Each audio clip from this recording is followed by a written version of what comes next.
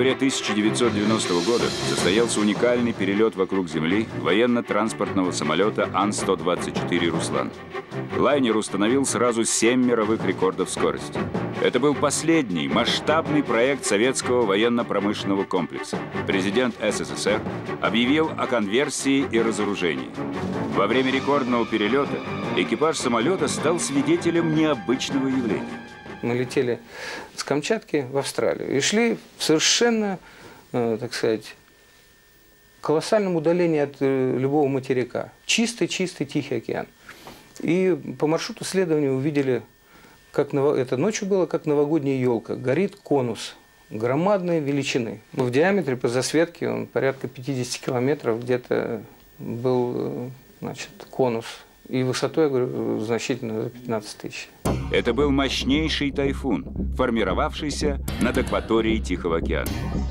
А в это время в Москве членам закрытой комиссии Министерства обороны СССР было продемонстрировано необычное изобретение специалистов научно-исследовательского института радиоприборостроения.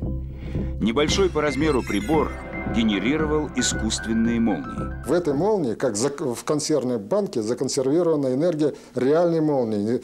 Э, существует огромная электрическая энергия, которую можно вскрыть банку и раскрыть, так сказать, джина из бутылки. Открывались невиданные перспективы создания принципиально нового оружия, которое могло решать стратегические задачи и обеспечивать гарантированную защиту страны. У меня в руках плазменный бластер, тот самый прибор, который создает рукотворные молнии. Плазмоид способен уничтожить баллистическую ракету, но не может прожечь обычный лист бумаги.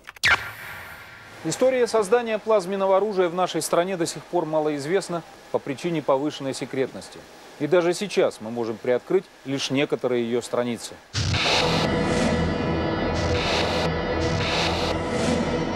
Плазменная атака. В феврале 1956 года в кабинете Никиты Хрущева раздался неожиданный звонок.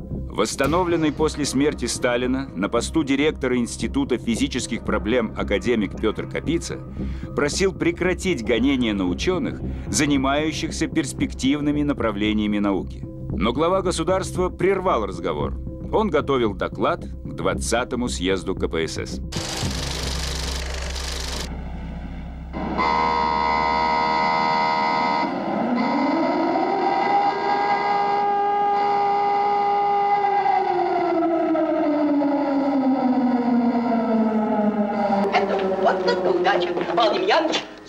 Меня обнимай. Что ты натворил? Не хочешь, не надо. Что ты натворил, я тебя спрашиваю? Мы получили полностью ионизованную плазму. Вот что я натворил. Пять лет я ждал этой минуты. Пять лет. Именно тогда Петром Капицей и его сотрудниками был совершен настоящий прорыв науки.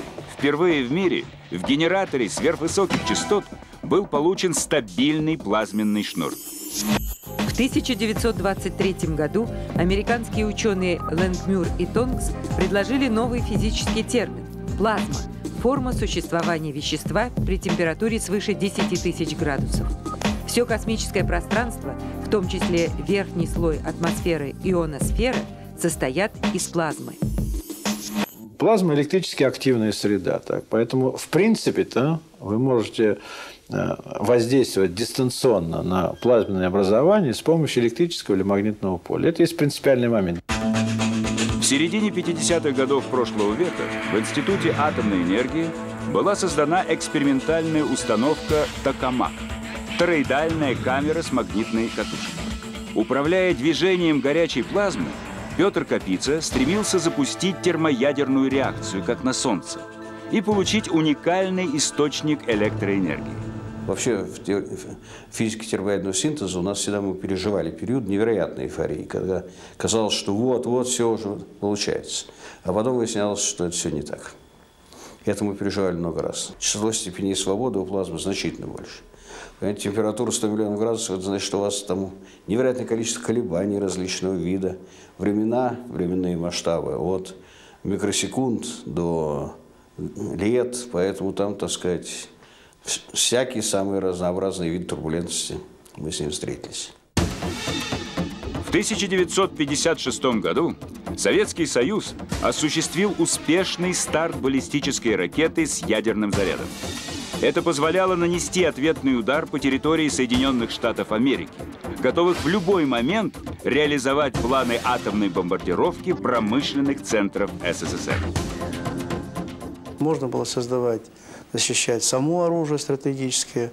По, по, по этому пути американцы пошли, а мы пошли по пути закрытия административно-промышленного района вокруг Москвы и тех командных пунктов, которые были дислоцированы в этом районе.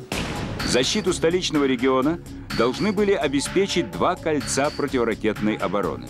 Опоясавшая Москву сеть радиолокационных станций контролировала воздушное пространство в радиусе 300 километров. Уникальные зенитно-ракетные комплексы «Беркут» могли поразить любую атакующую цель. Казалось, что Советский Союз обрел надежный небесный щит. Секретно. 14 ноября 1960 года. Москва первому секретарю ЦК КПСС Никите Хрущеву. Соединенные Штаты Америки планируют оснастить 9 подводных лодок новейшими межконтинентальными баллистическими ракетами «Поларис» с дальностью стрельбы свыше 2000 километров. Это позволит американским субмаринам наносить удары по Советскому Союзу вдали от рубежей противолодочной обороны. Председатель КГБ СССР Александр Шелепин. Стало ясно, что в новых условиях только раннее обнаружение стартов американских ракет могло обеспечить Советскому Союзу возможность нанесения ответного удара. Система ПРО и у нас, у американцев, она развивалась как система создания и обеспечения, в первую очередь, защиты центральных пунктов управления, систем управления оружием, что э, обеспечило гарантию реализации вот этой стратегии сдерживания путем уничтожения государства. Головным предприятием по разработке новой радиолокационной системы стал Московский радиотехнический институт Александра Минца. Главным конструктором стратегической системы защиты был назначен Ремилий Федорович Авраменко. В 8 часов приходил на работу и, до, и позже всех уходил с работы. То есть в моей жизни, сколько я ученых встречал, вот такого трудолюбия, такого отношения вот, э, к работе, пожалуй, я не встречал ни у кого. То есть он горел, горел работой и вот неординарными идеями. В марте 1961 года впервые в мире советская противоракета уничтожила боеголовку баллистической ракеты. Удачный эксперимент определил путь развития отечественных стратегических сил и открыл новый этап в ракетном противостоянии СССР и США. Достаточно редко средства защиты по стоимости э, могут конкурировать со средствами нападения. То есть э, это вот прослеживается и в системах ПРО, и в системах ПВО, потому что стоимость поражения ракет становится гораздо больше, чем сама ракета. Тогда получается, изготавливая плюс одну ракету, мы всегда э, имеем возможность насытить систему и прорвать систему обороны. В 1898 году американский изобретатель Никола Тесла продемонстрировал необычный высокочастотный трансформатор беспроводной передачи энергии. Создавая мощные плазменные разряды, чудо-машина зажигала лампочки на расстоянии десятков километров. И Авраменко, и Капица, они свято верили, что это действительно вот э, форточка в другой, в новый мир. В 1964 году на преддипломную практику в радиотехнический институт пришла Валентина Николаева. Она хотела заниматься телевизионными антеннами, но оказалась в лаборатории передовых оборонных технологий Ремилия Авраменко. Молодой, симпатичный, очень галантный, снял пальто, повесил. Мне это понравилось. Думаю, ничего, можно работать. Вот. Ну, потом я поняла, что это человек, в общем, довольно взрывной.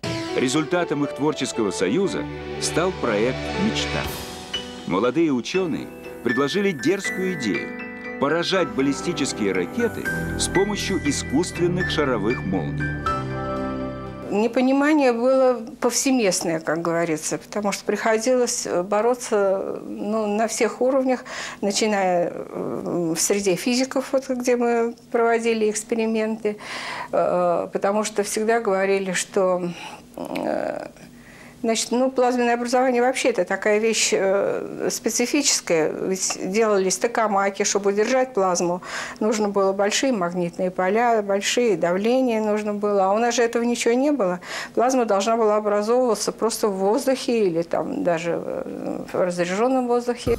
При столкновении с объектом плазменное образование плазмоид должен был действовать аналогично урановому снаряду и выделять при взрыве заряд разрушительной энергии.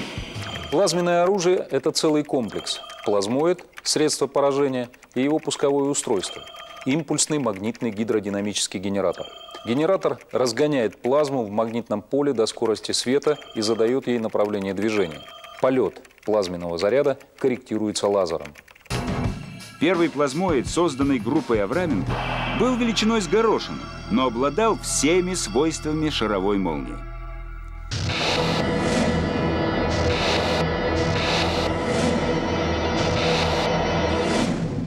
В октябре 1965 года на экранах развернутой в новейшей радиолокационной станции «Днепр» появилась мощная засветка. На северо-западном направлении, где пролегали основные трассы баллистических ракет, появился крупный воздушный объект. По тревоге был поднят полк истребительной авиации.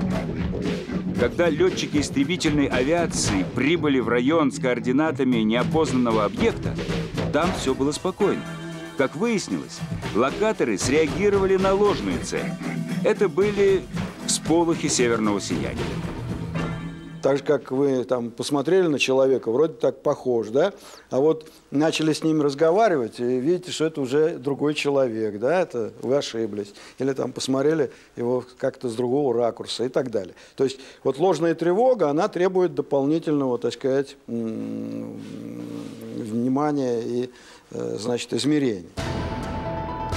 Программа селекции целей системы раннего обнаружения ракет требовала усовершенствования. Секретно. 25 октября 1967 года. Москва. Генеральному секретарю ЦК КПСС Леониду Брежневу. Соединенные Штаты Америки приступили к созданию баллистических ракет с разделяющимися головными частями индивидуального наведения. Количество боевых блоков, в том числе ложных, не ограничено. Перехват ракет на активном участке полета технически невозможен – Различать цели нашей системы не способны, и в случае массированной атаки мы не сможем отразить ракетный удар. Министр обороны СССР Дмитрий Устинов. Стало ясно, что отсутствие надежных средств выделения ложных целей среди ракетных боевых блоков дает колоссальное преимущество США в ядерной дуэли с Советским Союзом. Проблема селекции баллистических целей, проблема выделения – реальных э, боевых блоков, она была ну, достаточно сложной э, для решения. И на сегодняшний день, я думаю, что она до конца не решена. Только высокая скорость обнаружения и передачи информации о старте ракет могла дать Советскому Союзу возможность противостоять новой угрозе.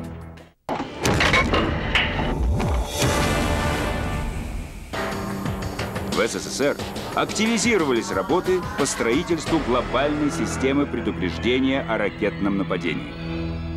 Потому что, э, когда мы говорим СПРН, система предупреждения о ракетном нападении, то она сама просто по себе э, не является законченным функциональным каким-то государственным средством.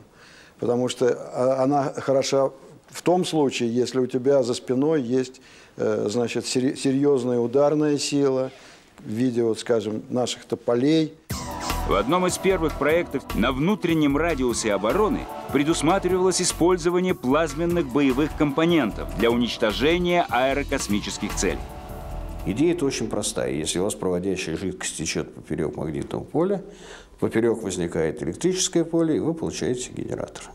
Причем э, срабатывается либо давление, либо скорость потока, и превращается эта энергия в электрическую.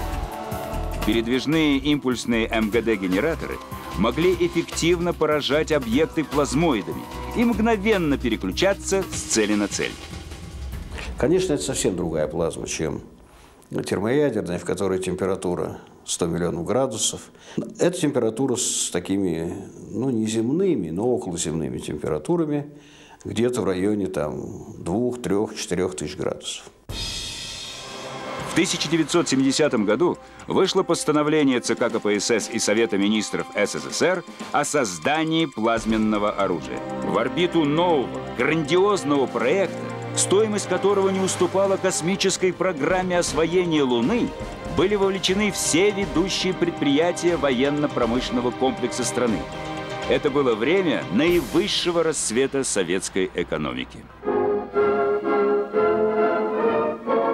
За пятилетие ввести в эксплуатацию примерно 15 тысяч километров нефтепроводов.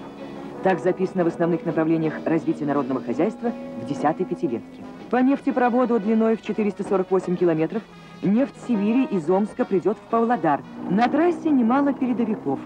Сварщик Анатолий Прохоров выполняет ежедневно до двух норм. Его работа получает только отличную оценку. В 1974 году в Московском научно-исследовательском институте радиоприборостроения была запущена не имевшая аналогов экспериментальная установка – двухзеркальный открытый резонатор ДОР-2. Первыми в мире советские ученые начали создавать управляемые шаровые молнии.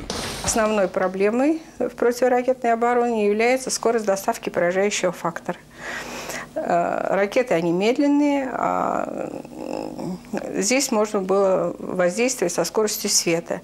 В вакуумной камере, имитирующей атмосферу на разных высотах, фокусировалось непрерывное СВЧ-излучение мощностью 20 мегаватт, и возникало стабильное плазменное образование. Изменяя параметры накачки специфических электромагнитных импульсов, можно было регулировать форму и характер плазменных разрядов.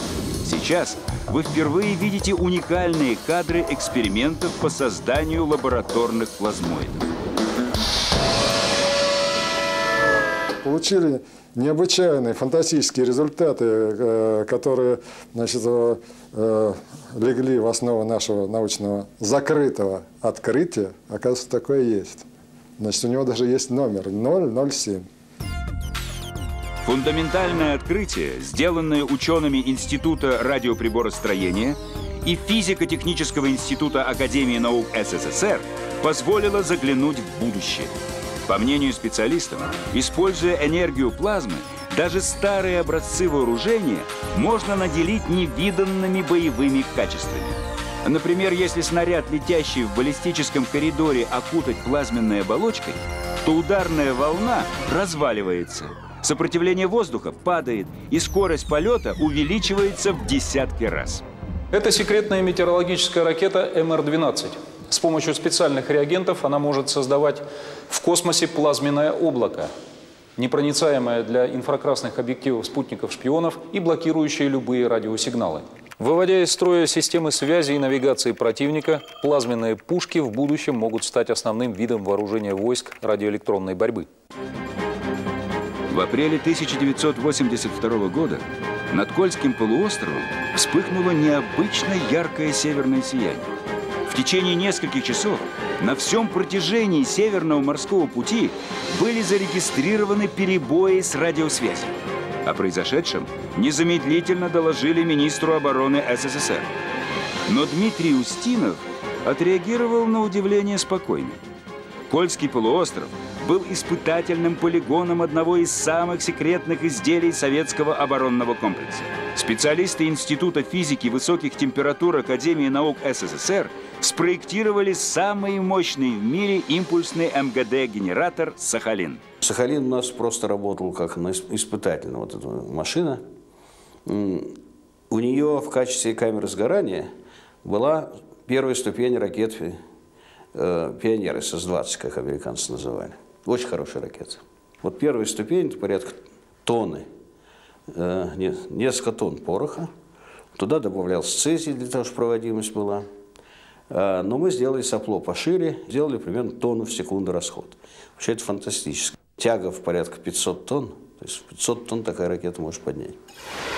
В Советском Союзе было создано целое семейство магнитогидродинамических генераторов, мощность излучения которых позволяла бороться с воздушными целями и быть эффективным средством морской и подземной разведки.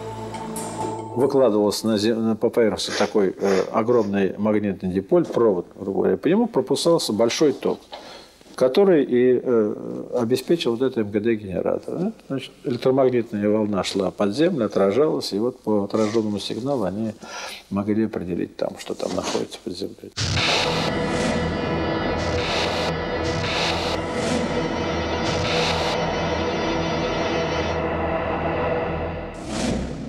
Однако вскоре выяснилось, что энергии даже сверхмощных импульсов, которые могут зажигать северное сияние, для поражения баллистических ракет было недостаточно. Работа зашла в тупик. Идеолога проекта Ремилия Авраменко отстранили от участия в создании плазменного оружия. Такая пила продолжалась э, на протяжении всей жизни. Нас сбросят на ноль, потом мы опять выходим на какое-то постановление и опять получаем возможность немножко поработать. А в это время советская система предупреждения о ракетном нападении развернулась на полную мощность. Пять узлов радиолокационной станции «Днепр», прикрывающих все ракетоопасные направления, и принятая на вооружение космическая система обнаружения стартов баллистических ракет обеспечили стратегическим силам возможность нанесения ответно-встречного удара.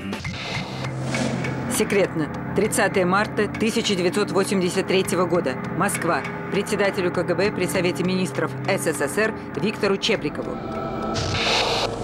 Соединенные Штаты Америки приступили к реализации программы СОИ. Стратегические оборонные инициативы предполагают создание четырехэшелонной системы обороны.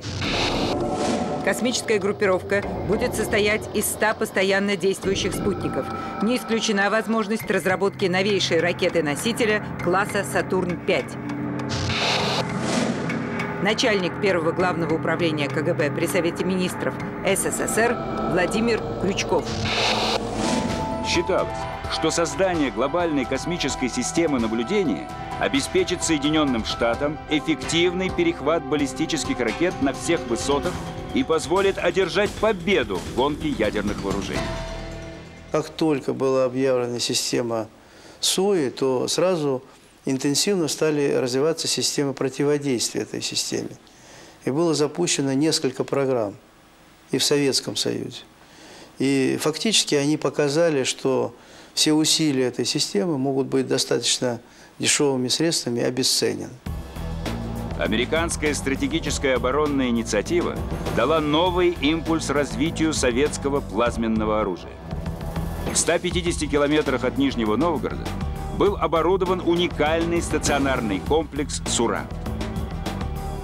На стационарном комплексе «Сура» подземные генераторы вырабатывали мощные электромагнитные импульсы. Антенные излучатели фокусировали в верхних слоях атмосферы ионизированные плазменные облака, которые создавали радиопомехи и могли выводить из строя системы американской космической навигации. Космические границы, они наиболее близки к нам. Вот э, от, э, э, от Кремля граница космическая – это 300 километров. То есть 300 километров вы уже, значит, имеете возможность наносить в том числе и удары. В это время Ремилий Авраменко предложил принципиально новое решение проблем противоракетной обороны. В фокусе излучения наземных компонентов плазменного оружия на высоте 50 километров образуется облако высокоионизированного воздуха. Благодаря графическому изображению вы можете представить действие плазмоидов. Сфокусированный в районе цели управляемый плазмоид разогревает атмосферную температуру. Плотность воздуха падает. Летящая ракета теряет опору, сходит с траектории и разрушается. Плазменное образование воздействует на баллистические ракеты, как бетонная стена на мчащийся автомобиль. это все направление революционное, начиная от, от прожигать и сбивать, это все было наше, как говорится. Мы прошли через этот путь, поняли, что он э, энергозатратный.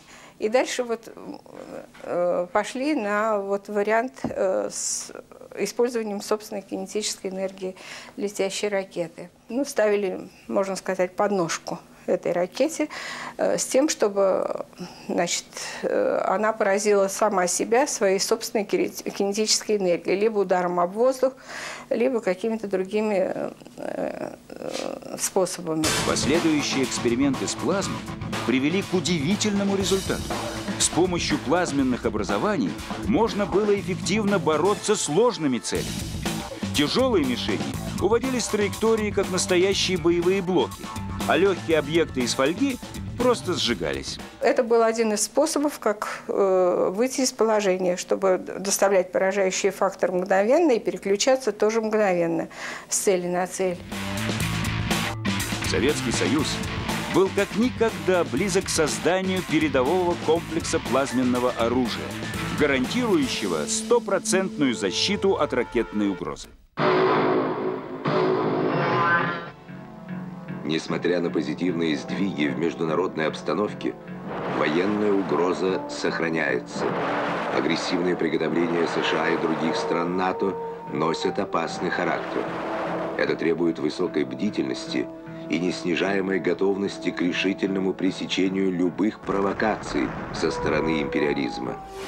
В то же время на боевое дежурство заступила не имеющая аналогов многофункциональная радиолокационная станция Дон-2Н. И он по существу выполняет роль радиоинформационного киберпространства, обеспечивая э, ну, буквально э, достаточно точно и глубоко видя э, в полусфере на дальностях до там, 4000 километров это охватывая, по сути дела, все и космическое пространство, и всю, значит, основную европейскую часть. Специалисты Радиотехнического института имени Александра Минца спроектировали станцию так, что в случае ракетной атаки она может существовать автономно.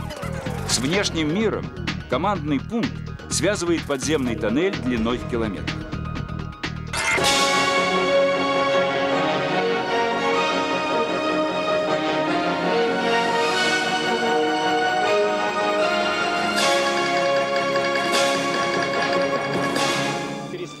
Одной стороны, вот она открыла возможности через демократию, гласность, через признание реальности. А реальность – это то, что мы многонациональное государство. После развала Советского Союза финансирование работ по созданию плазменного оружия было прекращено. Но ученые, несколько лет не получая заработную плату, продолжали исследование удивительных свойств плазмы. Плазма может делать э, топливо более реакционно способным, то есть в большей степени способное к сгоранию. Тратя сравнительно малую долю энергии плазмы, можно добиваться сильного влияния на процессы горения. Применение плазменных технологий открыло удивительные возможности для развития всех вооруженных сил. Вот таким грязным пламенем горит обычное топливо. Но если добавить немного плазмы, то даже некачественный бензин начинает гореть чисто, как водород. Благодаря плазменным генераторам военная техника будет способна работать на любом топливе. Самолеты смогут летать на самом дешевом горючем из простых бензоколонок, а сухопутную технику можно будет завести даже в самую лютую стужу. В 1992 году на артиллерийском полигоне Владимир-30 в условиях строжайшей секретности прошли первые стрельбовые испытания плазменного оружия. Специальные наземные генераторы сфокусировали плазменный коридор, в котором летел тщательно пристреленный артиллерийский снаряд. Под действием плазмы боеприпас изменил траекторию полета и ушел в сторону от цели. Результаты этих испытаний надолго были закрыты грифом «Совершенно секретно».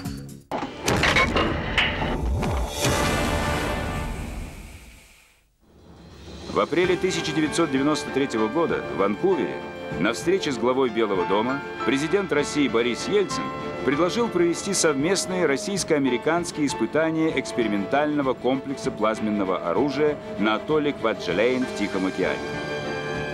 Россия готова была поставить мощные СВЧ-генераторы и несколько десятков тысяч фазированных антенн. Это и есть вот про на новых физических принципах, когда противора... значит, поражающим фактором является не ракета, а поражающим фактором является плазма. Специалисты Пентагона были шокированы фантастическими возможностями русского проекта, но американцы отказались от эксперимента. По странному совпадению, вскоре из открытой печати исчезла информация о работе американской станции «Харп», которая занимается активным высокочастотным исследованием ионосферы. В феврале 1994 года системы обнаружения радиолокационной станции Дон-2Н зафиксировали множество неизвестных целей. Масштабы налета были сопоставимы с массированным ракетным ударом. Но главный конструктор системы был спокоен. Американцы решили нас проверить. Проверить, значит, каким образом? Очень простым. Они из своих космических аппаратов выбросили серию шариков. Причем, значит, самый маленький шарик был там с теннисный мячик, а там самый большой, там, значит, ну, э, с, шар там с диаметром метр. Вот. И попросили, э, как бы организовали взаимные эксперименты, значит, говорит, мы будем своими станциями смотреть, и вы посмотрите своими станциями, как, как получится. В необычном соревновании систем обнаружения аэрокосмических целей российская многофункциональная радиолокационная станция Дон-2Н переиграла соперника. Секретно. 22 июня 1997 года. Москва. Начальнику Главного разведывательного управления Генерального штаба Валентину Корабельникову. На полигоне Кваджалейн прошли успешные испытания противоракеты принципиально нового типа. Боеголовка оснащена бортовой аппаратурой оптической селекции ложных целей в заатмосферной зоне. Военный атташе посольства России в США Дмитрий Зыков. Вслед за успешными испытаниями противоракеты Соединенные Штаты заявили о выходе из договора по ПРО и готовности развернуть национальную систему противоракетной обороны. Ее ядром стала размещенная на Аляске станция активного высокочастотного исследования ионосферы ХААР. Принципы, которые они заложили в эту систему от, той, от тех подходов, которыми, которые мы разрабатывали. Но, тем не менее, это тоже плазма, это тоже воздействие в атмосфере, это тоже значит, воздействие и на ракеты, и на все пролетающее мимо вот этих вот плазменных образований. В январе 2000 года поднялся в воздух перспективный российский истребитель МФИ-144. Но уже тогда стало очевидно, что для стратегической победы в воздушной дуэли завтра будет необходима гиперзвуковая скорость. Механическими средствами мы уже ничего сделать не можем. Формы предельно вылизанные, оптимальные, и дальше уже, так сказать, технические возможности не позволяют улучшить форму. Как оказалось, революцию в аэродинамике и авиации можно совершить с помощью так называемых путеводных плазмоидов. Российские ученые предложили оборудовать самолеты специальными бортовыми приборами, которые будут создавать вокруг летательного аппарата плазменную оболочку. То есть мы можем снизить сопротивление, как бы э, создав с помощью плазмы или нагрева-то вот э, виртуальный, так сказать, аппарат совершенной формы. Первым возможности плазменной аэродинамики открыл полвека назад Ремилий Авраменко. Обрабатывая сигналы самых ранних советских радиолокаторов, которые фиксировали все пролетающие объекты, Авраменко задался целью найти способ передвижения неизвестных аэрокосмических аппаратов. А от Абраменко исходило очень много таких идей. Ну, может быть, не всегда Э, корректных с научной точки зрения, но, э, вообще говоря, э, возбуждающих. Да?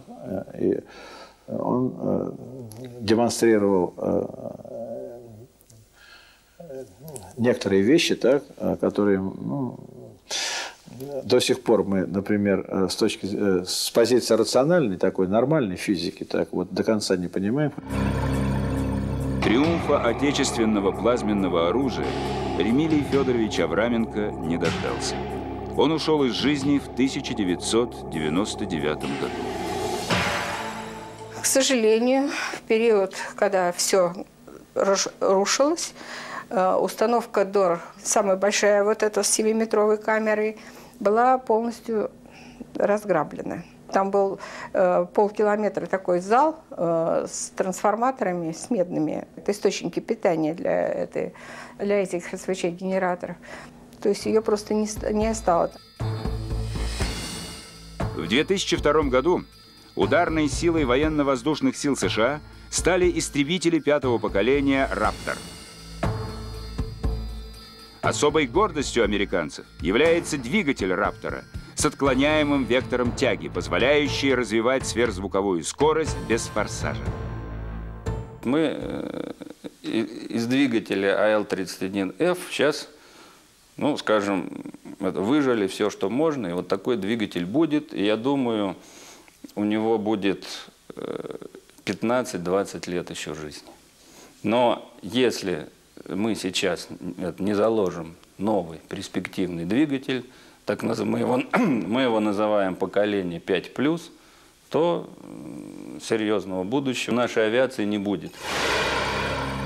Поиски принципиально новых способов повышения тяги самолетных двигателей привели к парадоксальному открытию. Без постоянного давления сердце самолета работает эффективнее. Я нахожусь в экспериментальной лаборатории Института водородной энергетики и плазменных технологий Курчатовского научного центра. Сегодня здесь проводится уникальный научный эксперимент.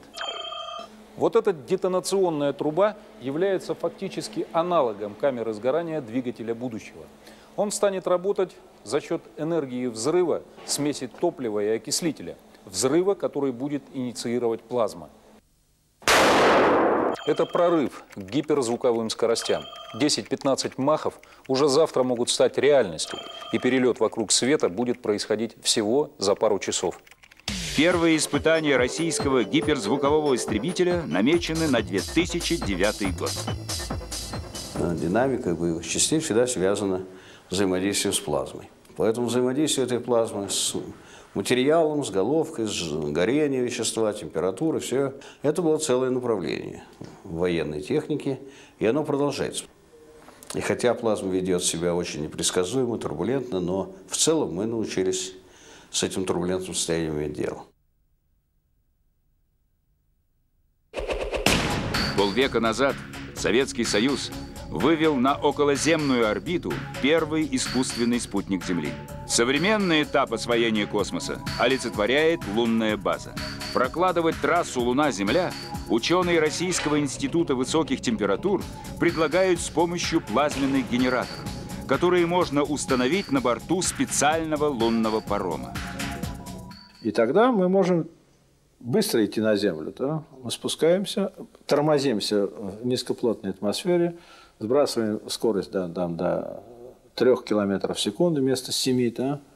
И дальше мы можем э, обычно на крыльях обычных, так сказать, приземлиться. Размещение на лунной базе военных систем не рассматривается. Но в любом случае укращенная плазма будет служить интересам безопасности России. По мнению военных теоретиков, в ближайшие 20 лет произойдет качественный скачок в развитии большинства систем вооружения. То, что сегодня кажется экзотикой, в середине века станет обычным. И вполне вероятно, что место привычного табельного пистолета Макарова займет портативный плазменный бластер.